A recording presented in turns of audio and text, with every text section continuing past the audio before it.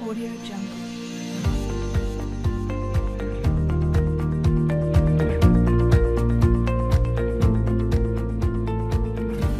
Hello, my name is Howard Cook. I'm the owner of Bay Area Retrofit. That's a local contracting company, and I've been doing this for 25 years. And I'm going to talk to you about retrofitting apartment buildings. Now, there's some apartment buildings you're familiar with, I'm sure, called soft stories, but there's also other uh, types of apartment buildings that need different types of retrofits. So first, we're going to go over cripple wall retrofits. Then we're going to go over no cripple wall retrofits. Then we're going to go to hillside home retrofits. And then we're going to go over soft story retrofits. So uh, we're going to go over all those things uh, right now. It's the geology that makes all of this important, and I want to show you what the historical record tells us. So between this large earthquake and this large earthquake, it was 183 years. Now between this large earthquake and this large earthquake, it was 158 years. And then between this large earthquake and this large earthquake, it was 153. And then from this earthquake to this earthquake, 97. And then from this earthquake to this earthquake, 142. Now, I'd like to point out that right now we are actually at 153 years and counting, meaning it's been 153 years since we had the last big earthquake in 1868. So what that means is we've now exceeded this 142. We've exceeded this 97. We're on a par with the 153. We're almost at the 158 and the 183. Oh, it's, it might be 30 years. So what that's showing us is, you know, a big earthquake is certainly, you know, on the horizon. And all of us may go through it. In fact, a good, good chance we're going to go through it because it is so likely according to what geologists tell us. Here's a study made by the Association of Bay Area Governments where they looked at the housing stock here in the San Francisco Bay Area to figure out how many people are going to be displaced. And at the same time, they had to look at the housing stock to see what kind of damage there would be because that defined how many people would be displaced. And multifamily dwellings, uh, as you have, are part of that so look at this report and see what it has to say about multifamily dwellings and earthquake damage. So right here we see that it's for Alameda County.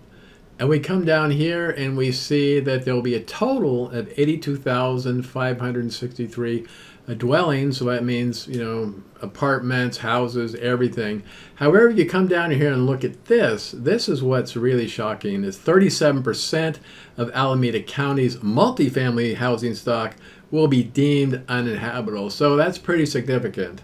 Uh, that's a huge, huge uh, segment of the housing stock. And the reason these cities, including Albany, Berkeley, Oakland, San Francisco, they're aware of this statistic and they're trying to protect the public. They're trying to protect you. They're trying to protect the public. They're trying to protect everybody because this problem with the uh, multifamily housing stock is so significant that there's a big need to prepare for it. At the same time, I'm sure as a apartment owners, you're concerned about the people who live in your homes. And 204,497 people, and those include the people who live in your buildings, are going to be displaced. And this could all be prevented by a good seismic retrofit.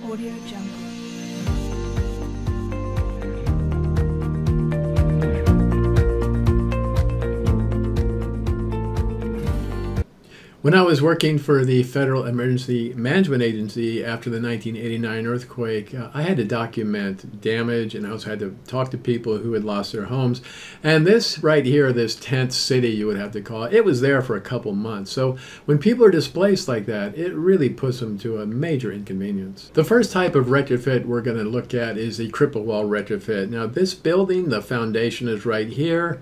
The floor is right here, and this wall right here is the cripple wall, and they tend to collapse in earthquakes, and we're going to see how to prevent that. So right here on the right, we have a duplex that has a cripple wall, and the way you tell if you have a cripple wall is you have a number of steps that go up to the front door. And what that means is right here, see the foundation will be right here, the floor that you walk around on will be right here, and there's a wall right here, and that is the cripple wall. Now the same thing over here.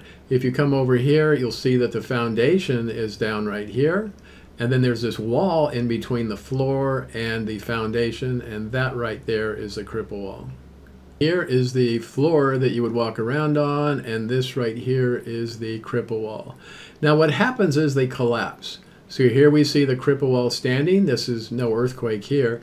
And then over here, it starts to shake and the cripple wall starts to lean. And then over here, it leans even more. And then finally, the whole thing falls off the foundation. So right here, you can see how the cripple wall collapsed. This is the cripple wall. Here is the foundation. And what happened is the floor rocked back and forth and caused the cripple wall collapse. This is a photograph of an apartment building that uh, had a cripple wall collapse. So right here is the original foundation. And then what happened, the cripple wall collapsed and the whole building slid over, oh, about two feet uh, when it collapsed. Here's an example of another cripple wall collapse. I was actually the FEMA inspector on this house and, you know, it looks pretty good on the outside. Notice that the windows aren't even broken. But on the inside, it was completely trashed. Cripple walls are pretty easy to reinforce. So all you need to do is put in some plywood. Here is a floor that you walk on, and again, this is the cripple wall itself, and then this is the foundation.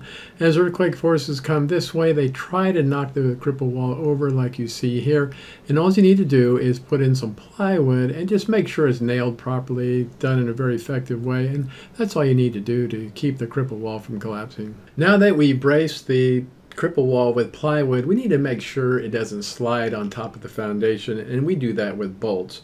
So right here, this is the cripple wall, and this is the base of the cripple wall, and that sits on top of the foundation. So we need to bolt that to the foundation. Now, if we don't do that, let me show you what happens.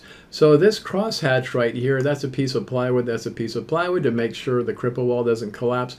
Now what happens is the earthquake happens, the it starts to shake back and forth, it starts to slide off the foundation, shakes a little more, it starts to slide off even more, and eventually the whole thing slides off the foundation simply because it didn't have any bolts to attach the plywood and cripple wall to the foundation. This is what bolts do. So right here is our cripple wall. This is the bottom of the cripple wall.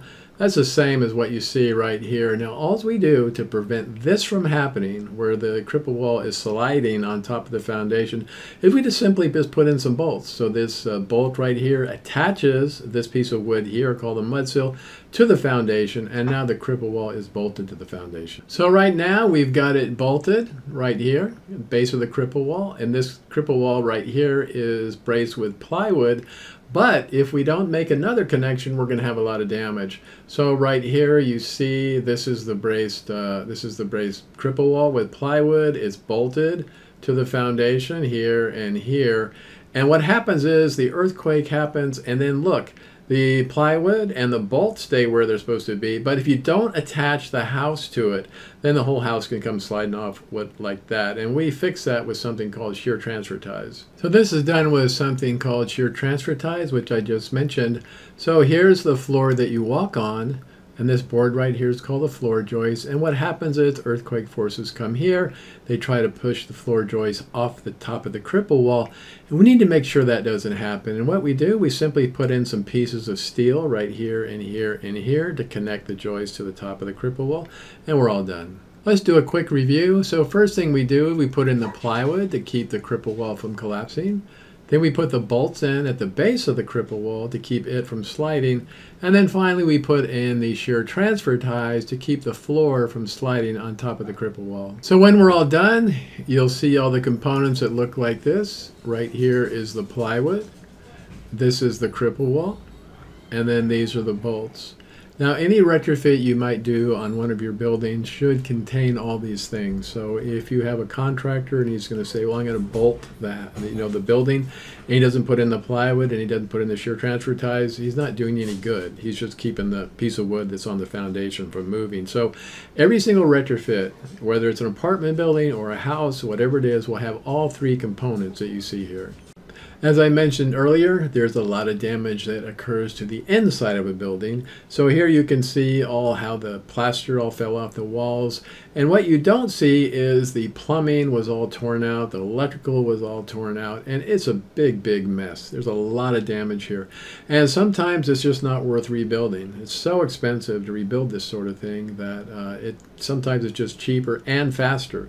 One of the things that happens after an earthquake is contractors come in from all over the country and their prices are triple or quadruple of what they would normally be because they know you know there's a there's a big demand people need to get their apartment buildings, you know, back in back going. They need to get their income. You know, they they know that they got you under a barrel. So that's one of the reasons why retrofitting a building with a cripple wall is a good idea. Now, the way you know if you have a cripple wall or not is simply by how many steps go into the front door. So if you have three uh, or more, you know, more than three steps, you probably have a cripple wall and might want to look into this type of retrofit. In seismic retrofitting, it's good to be aware that there is no building code for seismic retrofitting. It's also true that there is no special licensing.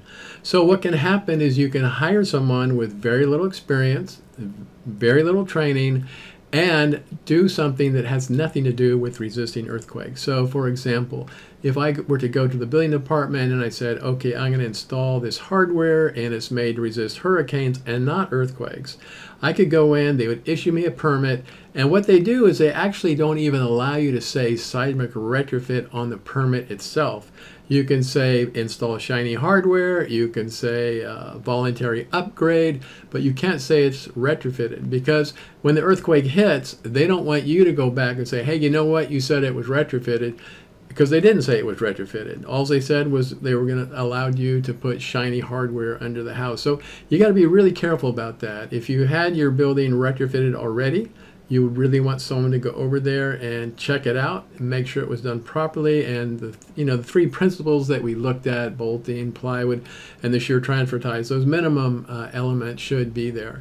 So this is a word of caution. When you hire someone make sure that you're well uh, educated in the field yourself and so that when you interview a contractor you can get a sense whether they know what they're doing or not. I happen to be on a building code committee right now trying to do something about the building code aspect of this but we're not really having any luck. And I really hope to push for contractor licensing because that's really what's needed.